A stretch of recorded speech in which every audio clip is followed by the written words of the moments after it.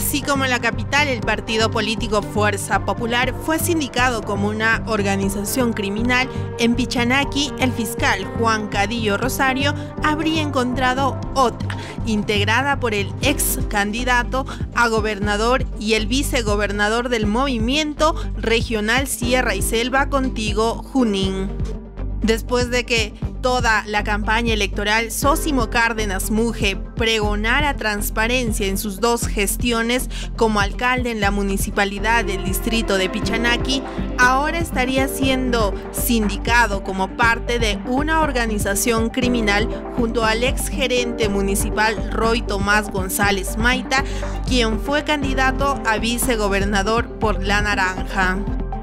La Fiscalía Provincial Especializada en Delitos de Corrupción de Funcionarios de la Selva Central realiza investigación preliminar en contra del exalcalde junto a nueve personas más por el delito en contra de la administración pública en la modalidad de peculado doloso, negociación incompatible y delito contra la tranquilidad pública bajo la modalidad de crimen organizado en agravio de la Municipalidad Distrital de Pichanaki, según este documento. La denuncia se habría efectuado a causa de que no se ha realizado el proyecto Mejoramiento de Servicio de Botiquín Comunal de las Comunidades Nativas Capachari y San Pablo de Chaboriato, que se debió realizar en su última gestión.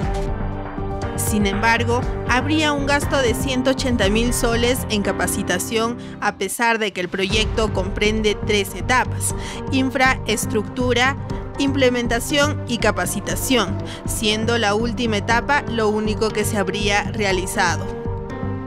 A pesar de que aún se encuentra el caso en investigación, ya se habrían encontrado indicios de los delitos imputados, pero esperemos que las ex autoridades tengan una explicación al respecto.